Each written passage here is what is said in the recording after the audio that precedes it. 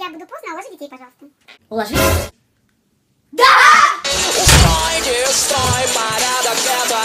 Да!